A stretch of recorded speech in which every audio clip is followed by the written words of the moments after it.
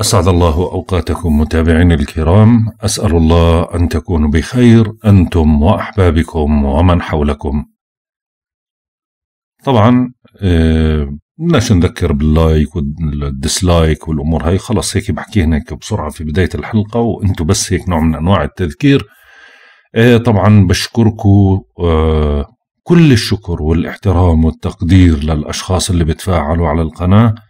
اللي لمست تغيير كبير أنا بالفترة الأسبوعين الماضيات إنه ارتفعت المشاهدات والتفاعل واللايكات كله طبعا بفضل الله عز وجل. ومن ثم بفضلكم ومن لم يشكر الناس آه بكون naughty آه naughty naughty مش منيح يعني مش مؤدب. فشكرا لكم جزيلا على كل مجهود أنتم بذلتوه بالفترة الماضية. آه، طبعا إشي أسعدني وقد ما بدي أحكي لكم إنه أسعدني يعني خلاني أصير سعيد. غير إني أنا سعيد فأنا صرت سعيد يعني. فشكرا لكم كثير خلينا نروح على توقعاتنا. بلاش الرغي كثير عشان ما ندديش حالنا اليوم الجو بارد كثير فمش متحمل الأمور الددي. آه، طبعا اليوم توقعاتنا ليوم السبت 20 2 20 شباط. آه، القمر طبعا موجود اليوم في الجوزاء. طبعا اليوم بدنا نعيد نفس منازل الأمس لأنه اليوم يعني المنازل شوي بدها تركيز معي.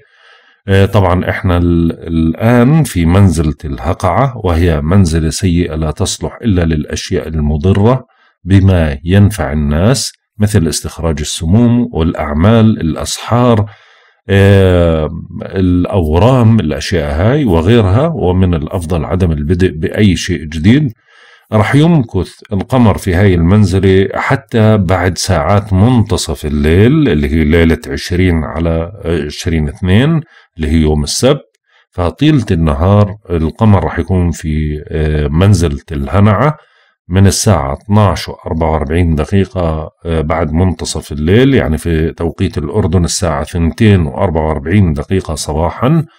وهي منزلة آه، جيدة وتصلح للمحبة والخير والقبول واليوم القمر راح يكون سعيد جدا. يعني بصل لسعادته تقريبا لمية في المية.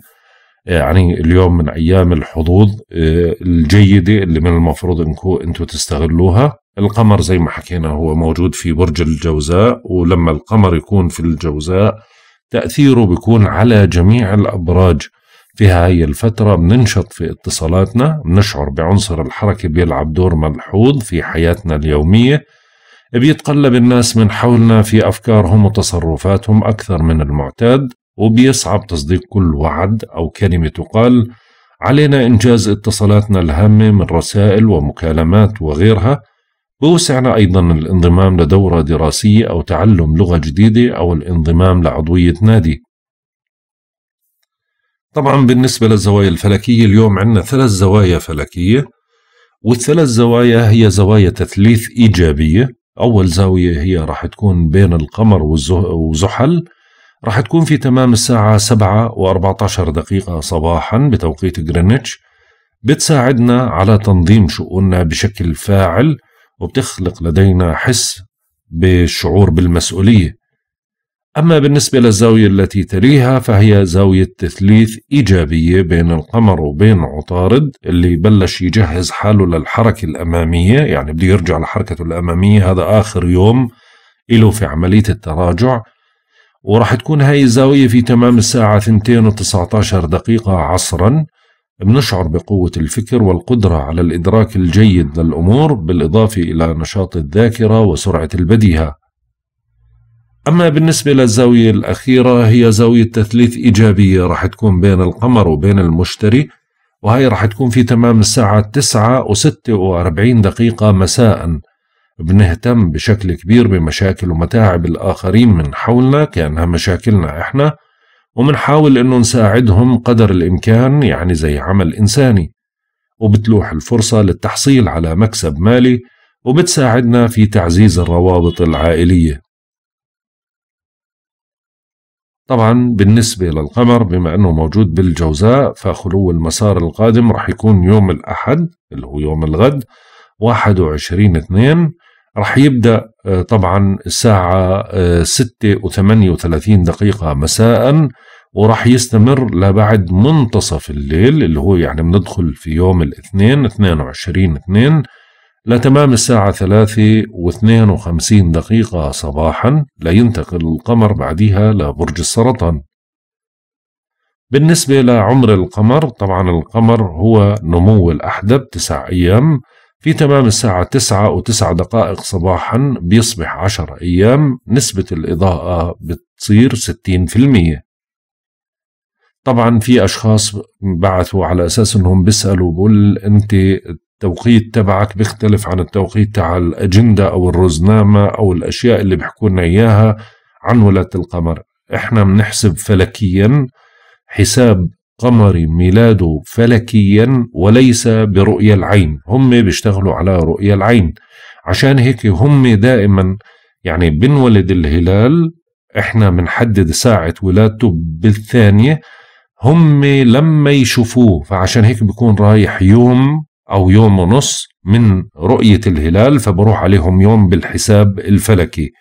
عشان هيك إحنا أدق بحسابنا من حسابهم ولكن بضل هم ماخذين اللي هي عنصر التشريع في رؤيته فهم حرين يعني.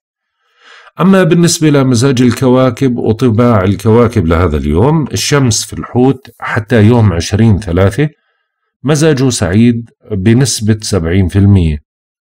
القمر في الجوزاء حتى يوم اثنين وعشرين اثنين طبعا سعيدة بنسبة مية في المية.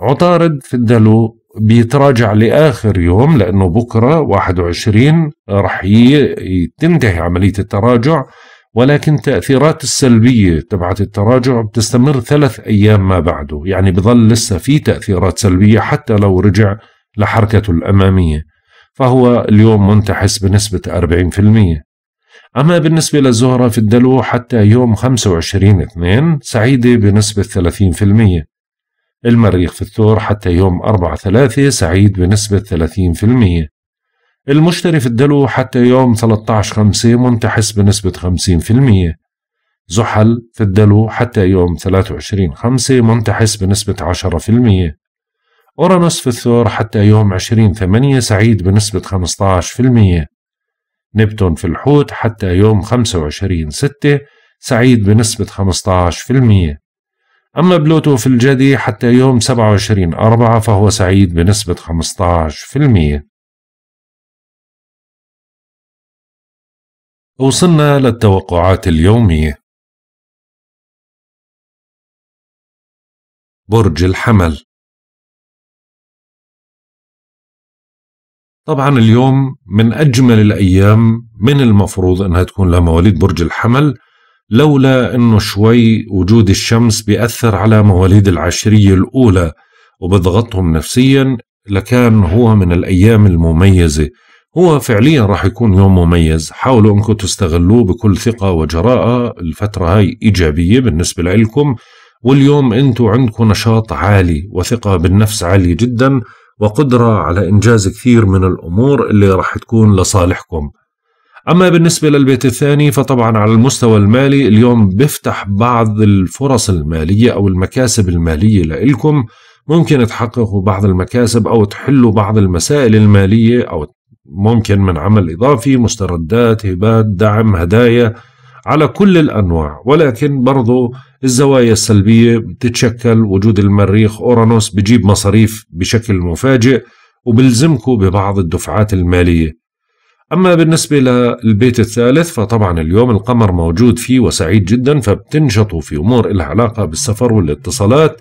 فاوضوا بثقة وجراءة حاولوا الدفاع عن مواقفكم وقضيتكم لكن بدكم تتجنبوا الكلام اللاذع يعني مش إنك تندفع وتروح إلا أنت مخرب الدنيا.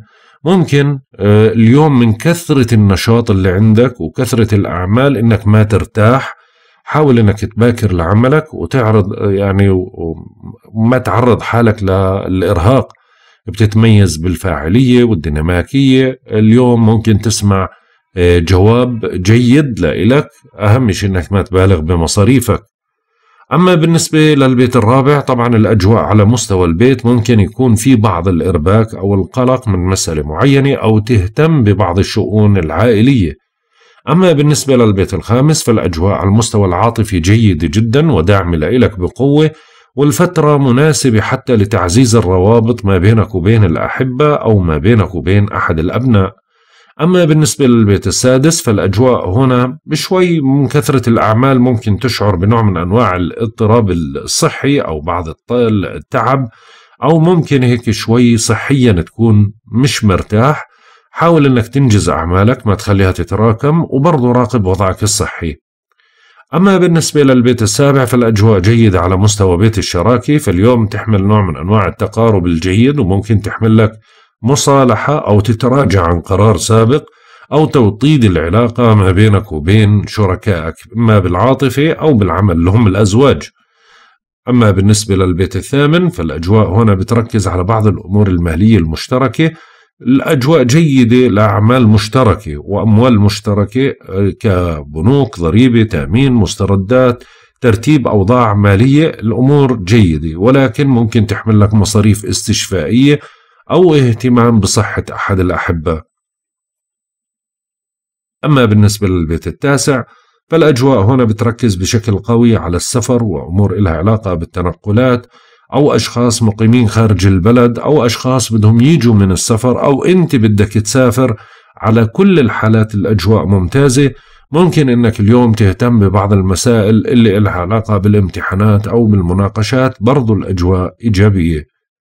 أما بالنسبة للبيت العاشر فالأجواء على مستوى بيت السمعة بتحمل إيجابية قوية لإلك. حاول أنك أنت تستغلها بشكل جيد وحاول إنك أنت توطد علاقتك ما بينك وبين المسؤولين أو ما بينك وبين بعض الأشخاص اللي بيعملوا معك. فعشان هيك الأجواء بتدعمك بشكل قوي وممكن اليوم تسمع نوع من أنواع الإطراء أو الثناء أو على مجهودك أو قدرتك. أما بالنسبة لبيتك 11 فالأجواء هنا بتركز على بعض الأمور اللي إلها علاقة في العلاقات الاجتماعية فمواليد العشرية الأولى وجزء من العشرية الثانية رح ينشطوا بشكل كبير في أمور إلها علاقة بالعلاقات الاجتماعية والزيارات والاتصالات والتحالفات حتى مع الأصدقاء. الأجواء قوية ودافعة داعمة لكم بشكل قوي. مواليد العشرية الثالثة عندهم الزهرة ممكن تعطيهم حظوظ كعلاقة تبدأ من خلال علاقة اجتماعية أو تتعرفوا من خلال أصدقائكم على ناس جدد أو على علاقة جديدة. أما بالنسبة لبيت المتاعب فطبعا الأجواء جيدة ودعمتك على المستوى الصحي والنفسي وبرضه ممكن تهتموا بصحتكم أو بداية علاج أو أدوية أو حتى صرف علاجات يعني الأجواء جيدة حتى للزيارات لبعض الأشخاص مثلا أو عيادة مرضى. الأجواء برضو مناسبة لهذه الأمور. برج الثور. طبعا اليوم الأجواء أحسن من الأيام الماضية. اليوم أنتم مشحونين بطاقة عالية جدا. وعندكم قدرة على الاندفاع والتحرك وبرضو عندكم قدرة على تحقيق غاياتكم وعندكم إرادة قوية جدا. أهم إشي إنكم تشحنوا حالكم بطاقة إيجابية وما في داعي إنكم تستسلموا لتقلبات المزاج أو أي إشي يأثر على مزاجكم أو تسمحوا لأي شيء أنه يأثر على مزاجكم بشكل سلبي. بالنسبة للبيت الثاني طبعا الأجواء جيدة. اليوم بتنهمكم في ضبط ميزانيتكم تجنبوا النفقات ممكن تهتموا أو تهتم لأوضاعك المالية وتخوض تجربة مهمة. بتمتحن موقعك وخبراتك. أهم شيء إنك ما تجازف بأموالك أو باستقرار وضعك المالي. تريث حتى تتوضح الأمور. ما تبالغ بمصروفك احذر من المنافقين ورتب وضعك المالي بشكل جيد. بالنسبة للبيت الثالث الأجواء طبعا يعني مش قوية على التحركات والاتصالات. عندك رغبة للتحرك على أكثر من موضوع ولكن ببطء شديد. فعشان هيك ممكن تغير رأيك في أي وقت. ممكن تكتفي بالاتصالات فقط لا غير. احذر من تقلب مزاجك أو توجيه كلام لاذع.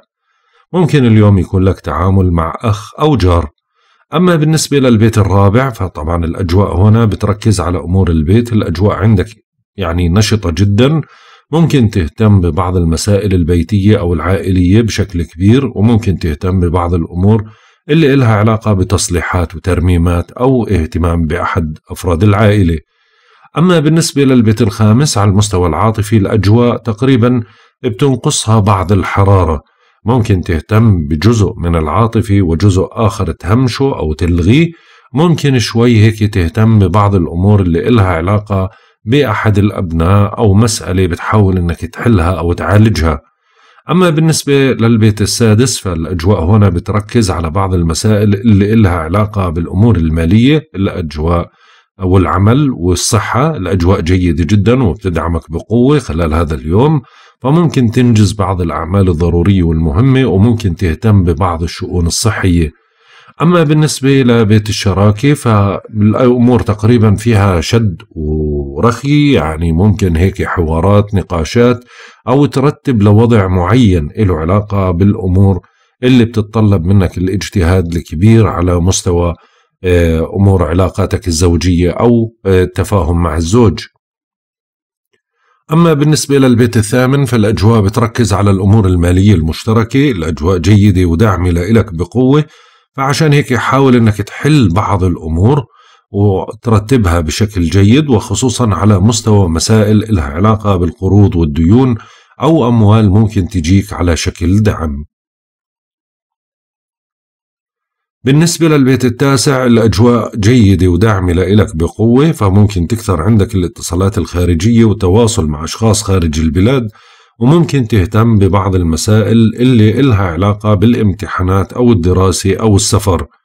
أما بالنسبة لها بيتك العاشر هنا الأجواء تقريبا متقلبة ولكن ما في أي خوف منها. ممكن تعزز علاقاتك مع مسؤولين أو أشخاص اللهم مكانة اجتماعية أو آه، رتبة أو مركز. مثلا آه، مرموق يدعمك بمسألة معينة وممكن تسمع كلام إطراء أو ثناء أو تنشط بالعلاقات اللي ممكن تعزز من مستواك. أما بالنسبة لبيت الأصدقاء اليوم تنشط ما بينك وبين الأصدقاء بعلاقاتك ممكن يتوجه لك دعوة لحفلة لمناسبة لشيء له علاقة بتوطيد العلاقة مع الأصدقاء فهو جيد جدا. أما بالنسبة لبيت المتاعب فالأجواء شوي رائعة. هي ما في أي خوف منها ولكن برضو بدك تنتبه لراحتك وغذائك وبرضو الأمور الصحية ممكن تحمل بعض القلق على صحة أحد الأحبة. برج الجوزاء. طبعا بما انه القمر اليوم موجود وهو مشكل زوايا كلها إيجابية فانتم اليوم عندكم قدرة على مواجهة مشاغلكم وإنجاز الكثير منها. بتكثر اليوم عندك المشاريع وبتختلط الواجبات. أهم إنك إشي تكون جدي وموضوعي في تنظيم الأمور. حدد أهدافك وأولوياتك باستطاعتك استعادة الموقع وإنجاز الكثير. أما بالنسبة للبيت الثاني فالأجواء ما زالت ضاغطة على المستوى المالي وبتشكل يعني نوع من أنواع الضغط عليك. فعشان هيك بدك ترتب أمورك المالية بشكل جيد وحاول أنك تقلل من مصاريفك. الفترة هاي بتحمل مصاريف ممكن تيجي استشفائية أو مصاريف طارئة. أما بالنسبة للبيت الثالث فاليوم أنت نشيط جدا فممكن تنجز كثير من الأعمال وتنشط بالحوار والنقاش والإقناع. والتنقلات وممكن سفر قصير. يعني اليوم عندك حركة دؤوبة لأكثر من مكان ممكن اليوم تعززها بثقة وقوة. حاول تستغلها وبرضه ممكن تعزز علاقتك ما بينك وبين الإخوة. أما بالنسبة للبيت الرابع على مستوى البيت في نوع من أنواع الضغط بسبب لك نوع من أنواع التوتر أو الإرهاق. ممكن تقلق بشأن وضع له علاقة يعني في العائلة أو في البيت يا أخطاء أعطال نقاش حوار ولكن ممكن يكون حاد شوي. أما بالنسبة للبيت الخامس فالأجواء على المستوى العاطفي جيدة جدا. اليوم عندك رغبة للتقرب من الأحبة بشكل كبير وحتى تواصل بشكل إيجابي ما بينك وبين الأبناء وممكن حتى أنك توطد علاقتك أو تتراجع عن قرار سابق بتعلق فيك وبأحد الأحبة. أما بالنسبة للبيت السادس فالأجواء جيدة وداعمة لإلك بقوة فممكن اليوم تهتم ببعض الأعمال وممكن أنك تهتم ببعض الشؤون الصحية. أهم شيء أنك تراقب وضعك الصحي من بعض الشد العصبي أو شد عضلات يعني زي التوتر. أما بالنسبة للبيت السابع فالأجواء جيدة على مستوى بيت الشراكة برضو بتدعمك بقوة وبتعزز علاقتك ما بينك وبين الشريك بشكل إيجابي. وممكن اليوم تنشط بمجال تفاهم ما بينك وبين الزوج أو الزوجة أو ما بينك وبين شريك المال.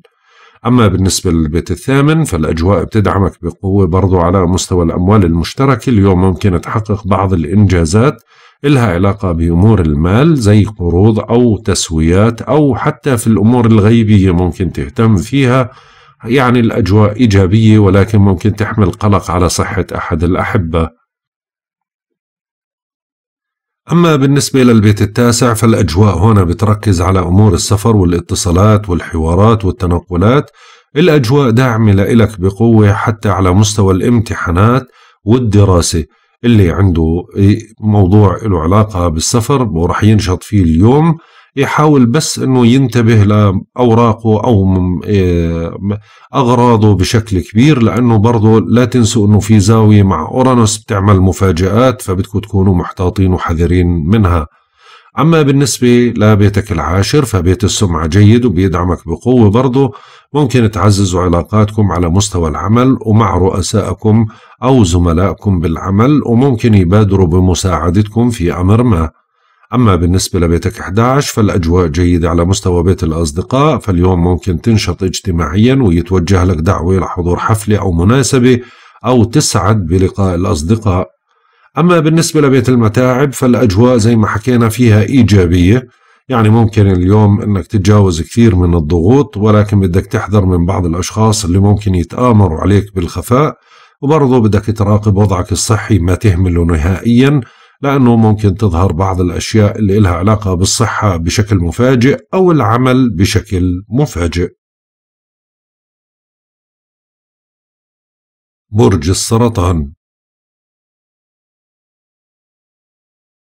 طبعا بالنسبة للوضع النفسي اليوم الأجواء ضاغطة عليك فبتحس أنه اليوم ما عندك طاقة ما عندك حيوية متقلب حتى الوسواس بسيطر عليك بشكل كبير. وبتشعر ببعض التعب فعشان هيك بدك تراقب أمورك الصحية بشكل جيد. حاول أنك تمشي أمورك بشكل روتيني بدون ما ترهق حالك كثير. أما بالنسبة للبيت الثاني الأجواء على مستوى الأمور المالية ممكن تفتح لك بعض الفرص المالية زي مكاسب أو أرباح أو تعزز بعض نقاط قوية لها علاقة بالأمور المالية بشكل جيد. حاول أنك ترتبها وتبعد عن المصاريف لزيادة. أما بالنسبة للبيت الثالث فالأجواء هنا بتدعمك شيئا ما ولكن برضو بتلاقي أنه التوتر والعصبية والطاقة عندك ضعيفة وخصوصا على أمور لها علاقة بالتنقلات والاتصالات والنقاشات. فحاول أنك تكون واضح بكلامك ما عشان ما تنفهم بطريق الخطأ أو ما يزعلوا أشخاص عند مناقشتك لإلهم من حدية طباعك. ممكن اليوم يصير في نوع من أنواع النقاش الحاد ما بينك وبين أحد الإخوة. أما بالنسبة للبيت الرابع الأجواء على مستوى البيت جيدة جدا وهي بتعزز من علاقاتك بشكل كبير. حتى أجواء البيت فيها نوع من أنواع الطمأنينة والراحة فممكن تنجز بعض الأعمال الضرورية والمهمة وتهتم ببعض التصليحات أو الترميمات المنزلية أو المشتريات. أما بالنسبة للبيت الخامس فالأجواء على المستوى العاطفي مشحونة شوي فممكن تستاء من تصرف الحبيب أو يصير في سوء تفاهم أو تنضغط بسبب ضغط معين مثلا أو حدث معين بكون إما من الحبيب أو من أحد الأبناء أو بسبب قلق على صحة أحد الأحبة. أما بالنسبة للبيت السادس فالأجواء هنا بتركز على العمل فممكن تنجز بعض الأعمال الضرورية والمهمة بمساعدة أحد الأصدقاء أو الزملاء وبرضه راح يكون في نوع من أنواع الاهتمام على الشؤون الصحية. بالنسبة للبيت السابع الأجواء تقريبا روتينية راح تكون ما بينك وبين الشريك ولكن احذر من تسرعك أو كلامك الجارح اللي ممكن شوي يوتر أو يعمل نوع من أنواع التوتر في العلاقة مش بالشكل الكبير يعني لو تركت الموضوع ساعة ورجعت له بتلاقي الأمور هدت. أما بالنسبة للبيت الثامن فالأجواء هنا بتحمل مفاجآت على المستوى الأموال المشتركة. حاولوا ترتبوها بشكل جيد بتجد إنه الأمور بتمشي لصالحك. فحاول إنك ترتبها إن كانت ديون أو قروض أو أموال مشتركة عشان ما تتعرض للمساءلة والمحاسبة. أما بالنسبة للبيت التاسع فالأجواء هنا بتركز على أمور إلها علاقة بالسفر والاتصالات البعيدة. الأجواء بتحمل لك أشياء إلها علاقة بالتواصل مع أشخاص خارج البلاد أو اتصالات خارجية أو حتى في أمور إلها علاقة بالامتحانات والمناقشات. الأجواء إيجابية وبتدعمك برضو وبتدعم من مكانتك. أما بالنسبة لبيتك العاشر فالأجواء هنا بتحمل بعض ال... يعني الإيجابيات على مستوى بيت السمعة. اليوم ممكن تتعرف على بعض الأشخاص أو تطلب مساعدة من شخص ذو منصب زي واسطة مثلا أو حتى تهتم ببعض الأمور اللي إلها علاقة برؤسائك أو زملائك بالعمل وممكن توطد سمعتك بشكل كبير. أما بالنسبة إلى بيتك 11 فطبعا الأمور نشطة على مستوى الأمور الأصدقاء ولكن ممكن تصير مفاجأة أو تنزعج بسبب خبر معين له علاقة بصديق أو له علاقة بزميل أو معرفة. فيضايقك الموضوع أو يخليك حاد الطباع. أما بالنسبة لبيت المتاعب فبما أنه القمر موجود في بيت المتاعب فبدكم تديروا بال كل يوم بنال التعب منكم. ضعوا سلم الأولويات للعمل الضروري والعاجل. انتبهوا كثير لغذائكم وراحتكم. بشير القمر لركود وتأخير في سير الأمور. حاذر من التراجع الصحي والمعنوي حاول إنك تستريح بعيد عن الأضواء وما تختلق أعذار وحاول إنك ما تهرب من المسؤوليات والمهمات. برج الأسد. طبعا اليوم الأجواء داعمة لإلك بشكل كبير وأنت اليوم بنشاط عالي جدا بنصحك نصيحة أنك تحاول تنجز كل الأشياء الضرورية والمهمة قبل أنه ينتقل القمر ويصير في بيت متاعبك. فعشان هيك ما تضيع الفرص اللي منيحة خصوصا اليوم الأجواء جيدة وداعمة لإلك.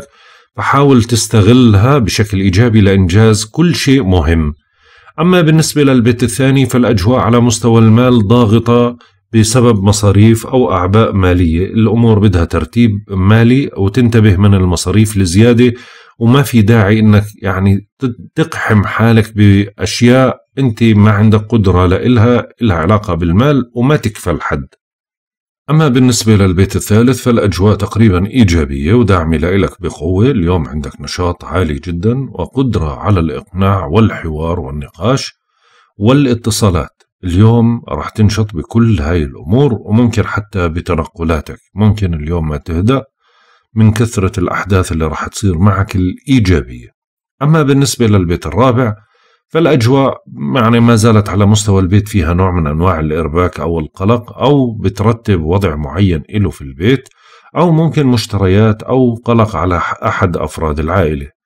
بالنسبة للبيت الخامس الأجواء العاطفية ممتازة جدا. اليوم تفتح لك يعني كثير من الأشياء العاطفية وبتعزز علاقتك العاطفية بشكل قوي ما بينك وبين الأحبة أو الحبيب أو أحد الأبناء. ممكن اليوم تتحاور في مسائل يعني بشكل قوي جدا إلها علاقة بالنشاط الفكري أو ال ال الأمور اللي إلها علاقة بالفكر والشعر والأدب والفن والأشياء هاي. بالنسبة للبيت السادس الأجواء هنا بتركز على بعض المسائل اللي إلها علاقة بالعمل. ممكن يتراكم عندك بعض الأعمال أو ما تقدر تنجزها بالكامل. حاول ترتبها بشكل إيجابي ما ترهق حالك كثير وبرضه راقب وضعك الصحي. أما بالنسبة للبيت السابع الأجواء هنا بتعزز علاقتك مع الشريك بشكل كبير وممكن تهتم بمسائل إلها علاقة بالزوج أو الزوجة أو حوارات أو نقاشات أو تحاول إنك تتراجع عن قرار أو مصالحة معينة. حاول تكون دبلوماسي بدون ما تفقد السيطرة على أعصابك. أما بالنسبة للبيت الثامن فبتركز على الأموال المشتركة. ممكن تبحث عن مساعدة أو ديون أو ترتيب وضعك المالي. ممكن عندك التزامات أو دفعات. أهم إشي آه، أنك ما تحتد إذا بتطالب في الديون أو بتطالب في مستحقات. لا إلك. بالنسبة للبيت التاسع الأجواء جيدة على مستوى الاتصالات البعيدة. اليوم رح تنشط باتصالات بعيدة وتواصل مع أشخاص خارج البلاد وممكن آه، تهتم ببعض المسائل اللي لها علاقة بالسفر أو مراسلات أو حتى تعامل مع أجانب. اللي عنده امتحان أو مقابل اليوم رح يقدم بشكل جيد. أما بالنسبة للبيت العاشر فالأجواء هنا بتركز على بيت السمعة وبتوطد علاقتك مع علاقات أو مع أشخاص أو مع شخصيات أو حتى مع رؤسائك بالعمل أو حتى يعني مع زملائك بالعمل. كل شيء أنت بتسعى له له علاقة بسمعتك ومكانتك الاجتماعية. إن شاء الله أنه اليوم بكون جيد وبيحمل مفاجآت أو ردود أو أخبار يعني كنت بتنتظرها لك فترة. أما بالنسبة لبيتك 11 فطبعا القمر موجود فيه فبتنشطوا اجتماعيا وبتلتقوا الأصدقاء. هاي الفترة مناسبة لطلب استشارة أو تأييد أحدهم أهم شيء أنك ما تبقى وحيد بل شارك في مختلف الورشات والنشاطات بتستعيد حماستك وحيويتك وبتتكيف بسهولة مع الظروف والأحداث وبتشارك بفعالية معينة. أما بالنسبة لبيت المتاعب فلا تنسى تهتم بصحتك ولا تنسى تهتم بغذائك وراحتك. ما ترهق حالك كثير الأجواء بحاجة لهدوء أعصاب ما في داعي لأي توترات. برج العذراء. طبعا الأجواء متقلبة اليوم يا إما إيجابية بالكامل يا إما سلبية بالكامل أو أحداث مختلطة. يعني في عندك اليوم عدة تقلبات وكثير من الأمور اللي راح تحيرك. راح تركز على إنجاز بعض الأعمال بشكل كبير. فعشان هيك أنت الفترة هاي بتتطلب منك طاقة كبيرة وتشحن حالك بطاقة كبيرة لأنه ما في داعي لفقدان السيطرة أو التركيز. أما بالنسبة للبيت الثاني فالأجواء بتركز على الأمور المالية. الأجواء جيدة جدا فممكن تحصل بعض المكاسب المالية اللي بتيجي من عمل إضافي أو مستردات أو هبات أو نوع من أنواع الدعم. يعني الأجواء بدها نوع من أنواع التركيز فأهم إشي ترتب وضعك المالي بشكل جيد وتحاول إنك تقلل من المصاريف. أما بالنسبة للبيت الثالث فالأجواء شوي بتعطيك نوع من أنواع عدم التركيز أثناء الحوارات والنقاشات. ما تعتمد على الحظوظ كثيرة حاول تراجع حالك أكثر من مرة قبل الكلام. ما تنتقد وما تكون لاذع بالكلام. فسر آه، بوضوح كلامك. وما تتسرع بالجواب. إذا كان عندك تنقلات انتبه أثناء تنقلاتك بالسيارة وممكن تهتم بأمور إلها علاقة إما بالسيارة أو إلها علاقة بالاتصالات. أما بالنسبة للبيت الرابع فالأجواء جيدة على مستوى البيت. ممكن تهتم ببعض المسائل اللي إلها علاقة بالبيت أو العقارات أو مسائل إلها علاقة بالعائلة. الأجواء جيدة وبتدعمك بقوة وممكن اليوم تحقق إنجازات جيدة على مستوى العائلة. أما بالنسبة للبيت الخامس على المستوى العاطفي في نوع من أنواع الالتباس. الأجواء جيدة إجمالا ولكن بتظهر بعض الأشياء اللي ممكن تخليك تتوتر أو بتخليك تعصب. فحاول قدر الإمكان تضبط أعصابك. أما بالنسبة للبيت السادس فالأجواء هنا بتركز على العمل وعلى على الصحة. فعشان هيك حاول أنك تنجز كل أعمالك الضرورية والمهمة. وحاول إنك تراقب وضعك الصحي بشكل جيد. ممكن اليوم إما إنه يتوكل لك عمل جديد أو تهتم بعمل جديد. أما بالنسبة للبيت السابع فالأجواء جيدة على مستوى بيتك الشراكة. فاليوم بتفتح لك مجالات جيدة للشراكة أو لإنجاز بعض الأمور الضرورية والمهمة. وفي منكم راح يهتم ببعض المسائل اللي إلها علاقة بالزوج أو الزوجة. أما بالنسبة للبيت الثامن فالأجواء هنا بتركز على مسائل لها علاقة بالأموال المشتركة. ممكن تحقق بعض المكاسب من آه، أحد الأشخاص أو تسترد أموال لإلك أو تهتم بتحصيل أموال لإلك. كان بالسابق صعب أنك أنت تحصلها أو تهتم بأموال الشريك. أما بالنسبة للبيت التاسع فالأجواء طبعا هنا آه، فيها نوع من أنواع الإيجابية إلا أنها بتحمل مفاجآت. ممكن اتصال غريب أو خبر من خارج البلاد يعني يستفزك أو يخليك تتوتر أو تقلق على صحة أحد الأحبة. أهم شيء إذا كان في امتحان أو مقابلة عندك بدك تستعد بشكل جيد وما تعتمد على الحظوظ. أما بالنسبة للبيت العاشر بيت السمعة فبدكم تحافظوا على سمعتكم بما أنه القمر موجود في هذا البيت. وإنجازاتكم القائمة في مجال العمل قدم أفضل ما لديك لعلك تحقق إنجاز أو تحرز تقدم. الفترة هاي بتحمل مفاجآت. أهم شيء أنك ما تهدد سمعتك بالخطر.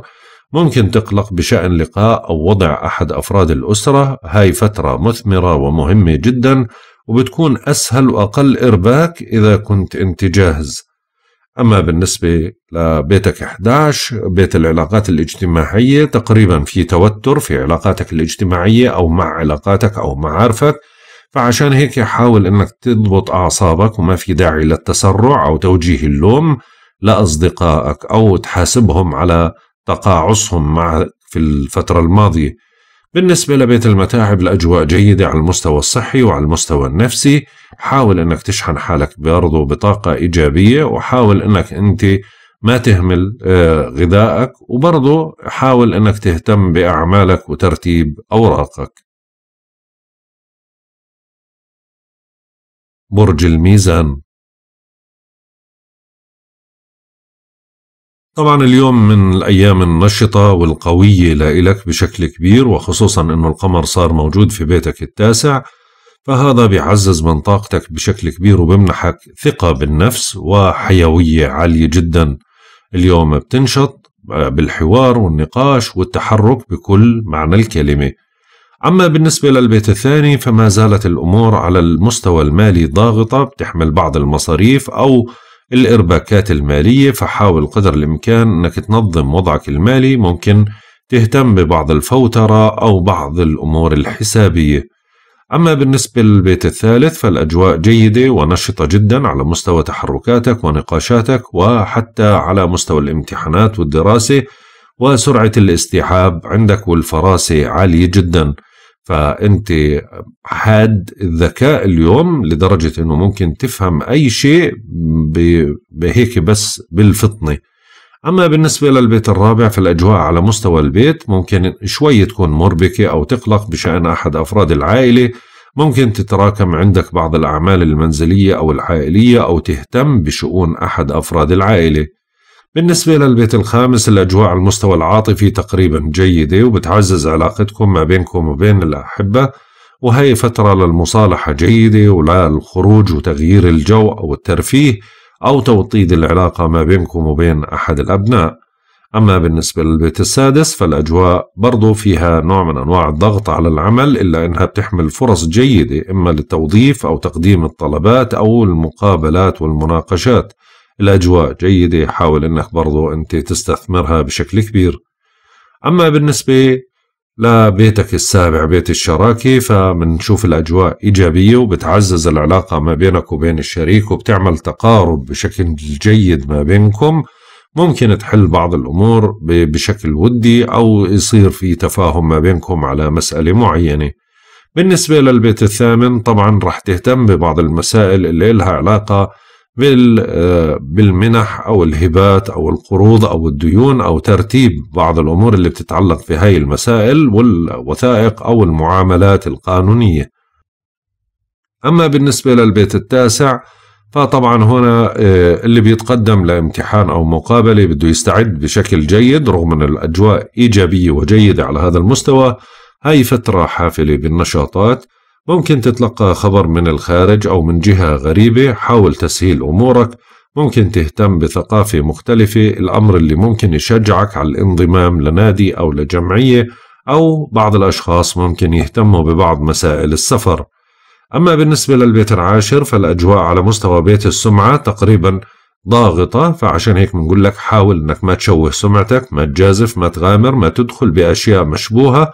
حاول إنك تضبط أعصابك وما تدخل بأي عدائية أو تتقاعس بعملك أو مع رؤسائك أو زملائك بالعمل.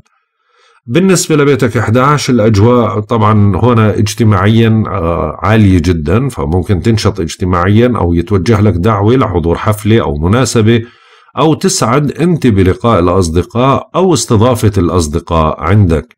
بالنسبة لبيت المتاعب الأجواء ممكن تحمل بعض الضغط فعشان هيك ما تهمل أعمالك ولا أشغالك ولا صحتك. راقب تغذيتك وحاول تأخذ قسط من الراحة من وقت لآخر. برج العقرب. طبعا القمر تحرك من المقابل تماما من برج الثور صار بالجوزاء يعني بيتكم الثامن. فعشان هيك الأجواء أخف ضغط بتلاقي طاقتكم تعدلت اليوم بشكل إيجابي ومشحونين بطاقة إلا أنه الأجواء راح تتركز كلها على الأمور المالية أكثر. فحاولوا قدر الإمكان أنه ما تسمحوا للروتين بأنه يأثر عليكم وبرضه في نفس اللحظة ما تندفعوا آه، بالغضب آه، بسبب تقلبات المزاج. بالنسبة للبيت الثاني طبعا الأمور المالية هي اللي راح تركز بشكل كبير عندكم اليوم فممكن تهتموا ببعض المصاريف أو الاهتمامات أو الدفعات في منكم راح يحصل بعض المكاسب المالية اللي بتيجي من عمل إضافي أو مستردات أو هبات أو دعم أو ممكن هدايا. حاولوا قدر الإمكان أنكم ترتبوا أموركم المالية بشكل إيجابي بدون ما تلجأوا للمصاريف. أما بالنسبة للبيت الثالث فالأجواء بتدعمكم على مستوى التنقلات والحوارات والاتصالات. آه، صحيح إنه الأجواء مش إيجابية كثير يعني تحركاتكم بتكون مدروسة على أشياء معينة إلا مواليد العشرية الثالثة هم أكثر أشخاص ممكن ينشطوا اليوم بالاتصالات والحوارات بشكل إيجابي. أما بالنسبة للبيت الرابع فطبعا الأمور بتتركز على البيت بشكل كبير في نوع من أنواع الإيجابية. فبتحمل لقاء أو آه، تحالف أو زيارات عائلية أو ممكن تقارب بشكل كبير ما بينك وبين أفراد العائلة وممكن تهتم بأحد أفراد العائلة بشكل إيجابي. أما بالنسبة للبيت الخامس فالأجواء على المستوى يعني العاطفي تقريبا بتحمل أشياء إيجابية لكم ممكن تهتموا ببعض الشؤون اللي إلها علاقة بالأحبة أو بأحد الأبناء أو تهتموا ببعض الأمور اللي إلها علاقة مثلا بأحد الأبناء آه، كشكل إيجابي وممكن يعني شيء عاطفي أو نزوة معينة. أما بالنسبة للبيت السادس فالأجواء بتركز على العمل بشكل كبير فممكن تهتموا بإنجاز بعض الأعمال أو تقديم طلبات لعمل مثلا أو تهتموا بأمور صحية إلكم أو لأحد الأحبة. أما بالنسبة للبيت السابع فالأجواء تقريبا يعني هي آه، هادية فيها نوع من أنواع الإيجابية إلا أنه بتحدث بعض المفاجآت خصوصا لمواليد العشرية الأولى يحذروا من ردات الفعل السلبية أو التهور في الحكم أو بالقرارات. أما بالنسبة للبيت الثامن فطبعا ادخلوا التعديل المطلوب على أموركم المالية المشتركة وما تسمح لأحد بالتشكيك بقدراتك. لا تكون جارح الكلام بل فاوض بهدوء ودبلوماسية. وكون حريص على حقوقك بتتحسن الأجواء وممكن تحصل على الفرصة المناسبة لتبرير أخطائك. بالنسبة للبيت التاسع ما زالت الأجواء ضاغطة على مستوى السفر أو العلاقات مع الأجانب أو حتى على الحوار والنقاش فهذا بوتركم بشكل كبير. حاول تضبط أعصابك بس يوم الحديث من القمر ينتقل لعندك. بتلاقي الأجواء صارت إيجابية أكثر. ولكن الآن إذا عندك امتحان أو مقابلة أو تنقلات بالسيارة حاول أنك تكون حذر ومركز مزبوط خوفا من الحوادث أو الأعطال أو أنه الامتحانات تكون صعبة فما تعتمد على الحظ. أما بالنسبة للبيت العاشر فالأجواء على مستوى بيت السمعة جيدة جدا وبتدعمك وبتعزز من علاقتك مع رؤسائك أو زملائك بالعمل بشكل إيجابي. أما بالنسبة لبيتك 11 فالأجواء بتعزز من علاقتكم بشكل كبير على المستوى الاجتماعي فممكن اليوم يحمل لك لقاء وممكن تعارف أو ممكن تترافق أنت وصديق ولكن احذر من سوء التفاهم أو تتدخل بشؤون الصديق فممكن تسمع كلام يعني ينتقدك فيه. أما بالنسبة لبيت المتاعب فالأجواء جيدة وبتدعمك بقوة فعشان هيك ما في أي خطر أو خوف من بيت المتاعب بالعكس أنت محمي على المستوى الصحي وحتى على مستوى الأمور اللي لها علاقة بالتغذية والعمل. برج القوس. طبعا بما إنه القمر موجود مقابلكم تماما فهنا بتلاقي إنه في أشياء إيجابية بتدعمك بشكل قوي ولكن بالمقابل في أشياء بتخوفك أو محيريتك خلال هذا اليوم. يعني أشياء سلبية ممكن طاقتك ضعيفة ممكن وضعك الصحي ممكن شوي آه، تشعر بنوع من أنواع الارتباك. حاول تشحن حالك بطاقة إيجابية قدر الإمكان وحاول أنك ما تستسلم للضغوط. بالنسبة للبيت الثاني فالأجواء هنا بتركز على الأمور المالية احذروا من المصاريف الزيادة أو الدفعات أو الالتزامات المالية بالفترة هاي ما تتهور وإذا بدك تعمل أي مشروع بدك تدرسه بشكل جيد. أما بالنسبة للبيت الثالث فالأجواء جيدة على مستوى الاتصالات والحوارات والنقاشات عندك سرعة بديهة عالية وقدرة على الإقناع رح تنشط بالاتصالات بشكل كبير واللي عنده امتحان أو مقابلة اليوم رح يقدم بشكل جيد. بالنسبة للبيت الرابع طبعا على مستوى العائلة الأجواء ضاغطة شوي ممكن شوي يكون فيها أمر عائلي مربك أو تهتم ببعض الأمور البيتية أو العائلية بشكل كبير. تتطلب منك أنك أنت تكون دقيق وواعي وما تهمل الشؤون العائلية. بالنسبة للبيت الخامس طبعا على المستوى العاطفي الأجواء جيدة جدا فممكن تعززوا علاقاتكم ما بينكم وبين الأحبة بشكل قوي. وممكن تهتم بأمور إلها علاقة بأحد الأبناء أو مسائل إلها علاقة بأمور فنية أو حتى بالحوارات. بالنسبة للبيت السادس الأجواء هنا ضاغطة شوي على مسائل إلها علاقة بالعمل. ممكن يتراكم عندك بعض الأعمال أو تظهر أعمال بشكل مفاجئ.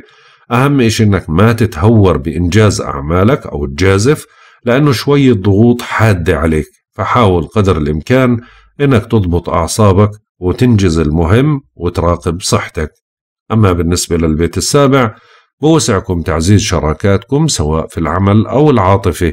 هاي فترة صعبة تثقل خلالها الهموم والمسؤوليات. ما تنفعل وحاول الإضاءة على الإيجابيات. ما بينفعك التوتر ولا الجدال. عالج كل التطورات بموضوعية وأعصاب باردة. وما تتسرع باتخاذ القرارات. أما بالنسبة للبيت الثامن فما زالت الأجواء زي ما حكينا المالية خصوصا حتى الأموال المشتركة. فممكن اليوم تتعرض لمساءلة أو لمحاسبة في مسألة ما أو حتى أنه خصوصا على المستوى المالي.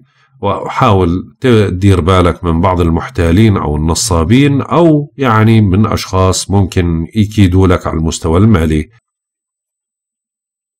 بالنسبة للبيت التاسع الأجواء يعني بتحمل نوع من أنواع الإيجابية على مستوى الاتصالات الخارجية والتواصل مع أشخاص خارج البلاد أو الاتصالات مع أجانب. الأجواء جيدة وبتدعمك بقوة وممكن إنك تهتم ببعض المسائل اللي إلها علاقة بالدراسة أو الامتحانات وتكون إيجابي. أما بالنسبة للبيت العاشر فهنا بتركز على مسائل إلها علاقة بالسمعة فبنقول لك دير بالك تشوه سمعتك ما تندفع ما تتهور حاول انك قدر الإمكان يعني تضبط أعصابك على أساس إنه ما تخالف القوانين وما تشوه سمعتك. بالنسبة لبيتك 11 الأجواء جيدة على مستوى الأصدقاء وتحالفات الأصدقاء فممكن يتوجه لك دعوة أو تسعد بلقاء الأصدقاء أو تعاون صديق معك يبادر بمساعدتك في مسألة ما. الأجواء برضو إيجابية جدا. أما بالنسبة لبيت المتاعب فهنا ضاغط شوي. فبنقول لك دير بالك راقب وضعك الصحي بشكل جيد أو صحة أحد الأحبة ممكن تكون. راقب غذائك حاول تنجز أعمالك بدون ما تهمل أي شيء عشان يعني ما تتحاسب أنت أو أنت تكون كبش الفداء. برج الجدي طبعا بما أنه القمر انتقل وصار موجود في البيت السادس عندكم فاليوم شوي رح يكون في ضغط عليكم. حاولوا تنتبهوا خصوصا أن الأجواء بتكون متقلبة لما بصير في البيت السادس. انتبهوا لصحتكم بشكل كبير وحاولوا ما ترهقوا حالكم بأعمالكم. صحيح أنه ممكن تتراكم عندكم بعض الأعمال أو المتطلبات اللي اليوم تكون عندكم. بدها شوية حذر ورتبوها بدون يعني لو بشكل روتيني. أما بالنسبة للبيت الثاني فالأجواء على المستوى المالي إيجابية فممكن تحققوا بعض المكاسب المالية اللي بتيجي عادة من عمل إضافي أو مستردات أو هبات أو نوع من أنواع الدعم أو حتى هدايا. الأجواء جيدة على المستوى المالي ممكن تحمل بعض المصاريف ولكن مش بالشكل مثلا المخيف ولكن بتحمل فرص مالية جيدة. بالنسبة للبيت الثالث الأجواء هنا بتركز على التحركات والاتصالات والنقاشات. الاتصالات بأنواعها الأجواء شوي ممكن تكون فيها نوع من الحدية أو العصبية. حاولوا تضبطوا أعصابكم ما في داعي لتوجيه كلام لاذع. خلوا كلامكم مفهوم على أساس ما تنفهموا غلط. انتبهوا أثناء قيادة السيارة إذا كان عندكم امتحانات أو عندكم مقابلات ركزوا بدون ما يعني تتسرعوا بالإجابة ما تعتمدوا كثير على الحظوظ. أما بالنسبة للبيت الرابع فالأجواء على مستوى البيت والعائلة تقريبا نقدر نحكي فيها نوع من أنواع الإيجابية. تقريبا تستقر الأجواء البيتية والعائلية بشكل جيد. بتعمل تقارب ما بينك وبين أفراد العائلة. ممكن يكون بعض الانشغالات اللي إلها علاقة بالعيلة أو لقاءات أو حوارات عائلية. بالنسبة للبيت الخامس الأجواء على المستوى العاطفي ضاغطة شوي فعشان هيك مش كثير بتحمل مفاجآت ممكن خبر أو معلومة عن أحد الأحباء هي اللي شوي بتوترك ولكن إجمالا الأجواء فيها أشياء إيجابية ممكن تسعدوا بلقاء الأصدقاء ممكن تزعل من تصرف معين بيكون في أحد الأحبة ولكن مش بالشكل المرعب. أما بالنسبة للبيت السادس فواصلوا ما بدأتم به من عمل سابق وانتبهوا لصحتكم. حاذر من تراجع صحي لا تسمح للواجبات بالتزامن ولا بالتراكم. كن أكثر تنظيما وأحسن إدارة وقتك تجنب لإثارة العداوات وإهمال وضعك الصحي. خذ قسط من الراحة وإهدأ وكون عند حسن الظن. أما بالنسبة للبيت السابع فالأجواء هنا بتركز على بيت الشراكة ممكن يكون في بعض التقلبات بالمزاج أو نقاش أو حوار أو زعل أو عتب على الشريك شريك العاطفة أو شريك المال ضبط الأعصاب مطلوب ما تتخذ أي قرارات اليوم بشكل مرتجل بدون ما تفكر بشكل جدي. أما بالنسبة للبيت الثامن فالأجواء هنا بتركز على الأموال المشتركة في فرصة لمكاسب من الأموال المشتركة زي قروض ديون تحصيل ديون ترتيب حسابات كلها هاي أشياء إيجابية راح تفكر فيها وممكن ترتب لوضع قادم أو لمشروع أو لفكرة معينة. أما بالنسبة للبيت التاسع فالأجواء جيدة وبتدعمك بقوة وبتعمل تقارب ما بينك وبين أشخاص إما أجانب أو من خارج البلاد. ممكن بس إذا كان عندك امتحان أو مقابلة أو سفر بدك تستعد بشكل جيد. ممكن يجيك خبر يزعجك من خارج البلاد ولكن إجمالا كل الأجواء فيها نوع من أنواع الإيجابية إلا إذا في إنه امتحان استعدوا بشكل جيد وما تعتمدوا على الحظوظ. أما بالنسبة للبيت العاشر على مستوى بيت السمعة الأجواء جيدة جدا ودعم لك بقوة حتى على مستوى علاقتك مع رؤسائك بالعمل وزملائك جيدة ممكن تنجز أمور بشكل إيجابي. أما بالنسبة لبيت الأصدقاء فبتنشطوا بالعلاقات الاجتماعية أو لقاء بعض الأصدقاء خلال هذا اليوم. صحيح أنه ممكن تتوتر من فضول أحد الأصدقاء أنه يتدخل في حياتك فهذا الإشي ممكن يوترك ولكن إجمالا الأجواء سعيدة. أما بالنسبة لبيت المتاعب فالأجواء يعني تقريبا حاميتك على مستوى الصحة وبرضو على مستوى أمور إلها علاقة بالعمل ولكن ممكن تقلقوا على صحة أحد الأحبة. برج الدلو.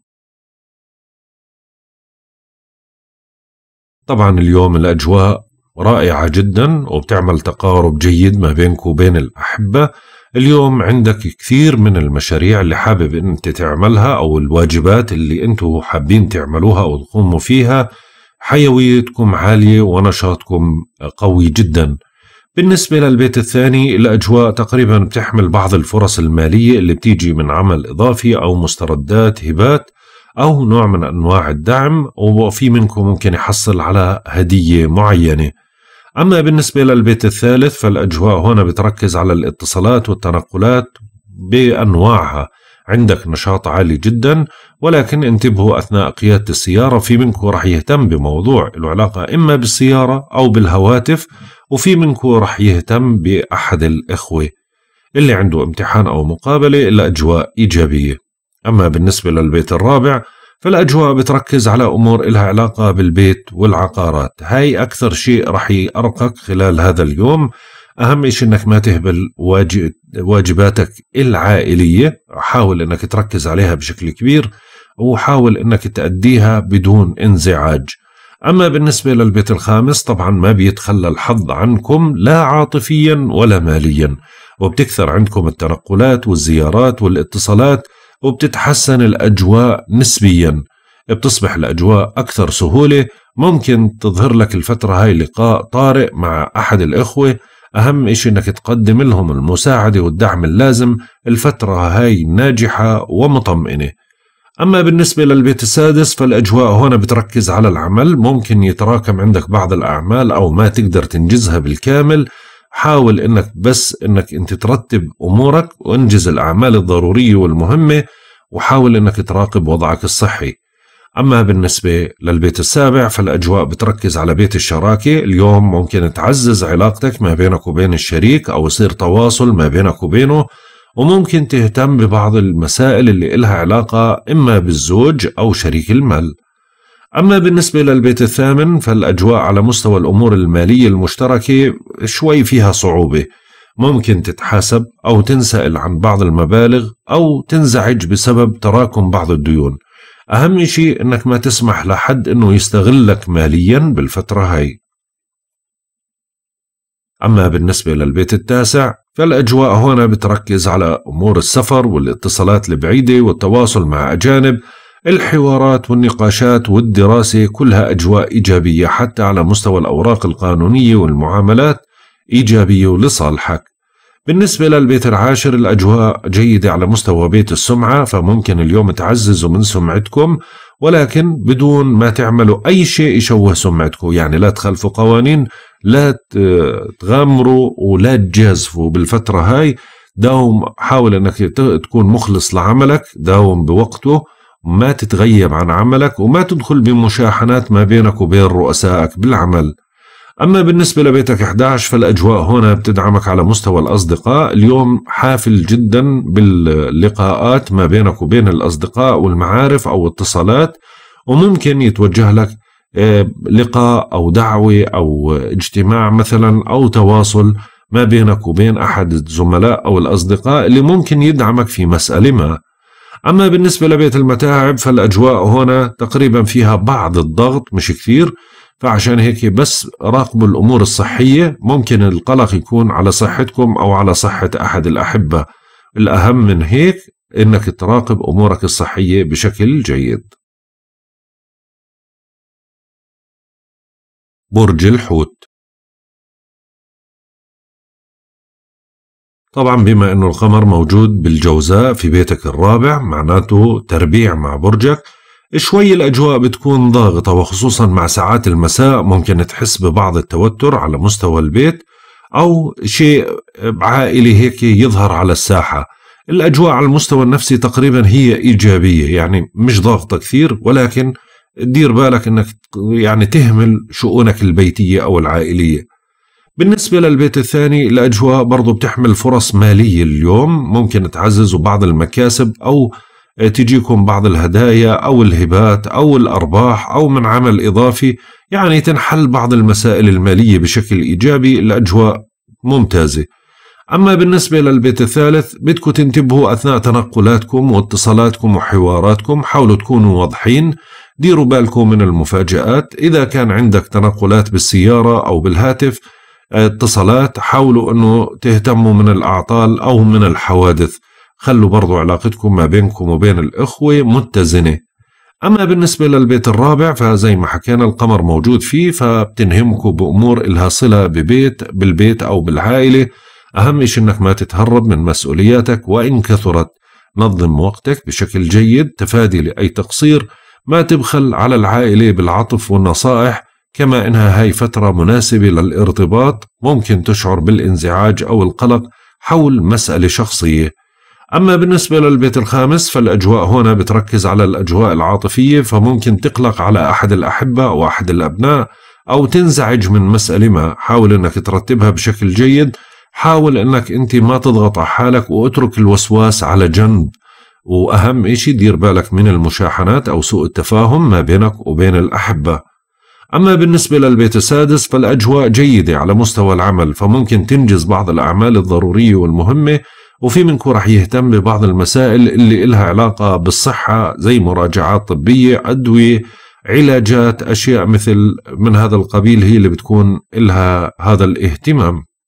أما بالنسبة للبيت السابع فالأجواء هنا بتركز على أمور إلها علاقة بالشراكة المالية والعاطفية. الأجواء شوي بتحمل نوع من أنواع القلق أو التوتر على الشريك.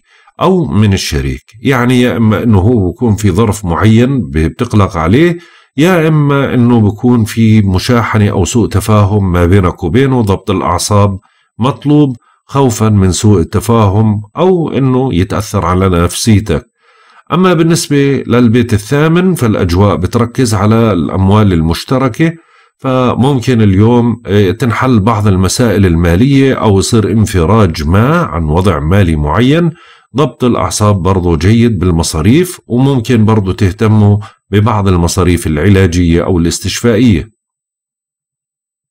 أما بالنسبة للبيت التاسع فالأجواء برضو ممكن تحمل قلق على صحة أحد الأشخاص خارج البلاد أو أجنبي عنك أو ممكن أنه حوار يكون يعني شوي مضطرب أو قلق أو بتتعلق بخبر من بعيد ممكن يكون مزعج أو إشي له علاقة بالامتحانات أو المناقشات. بدك تكون حذر يعني بدك ترتب أمورك بشكل جيد وما تتسرع. يعني رتب وقتك رتب دراستك وما تعتمد على الحظوظ بشكل كبير.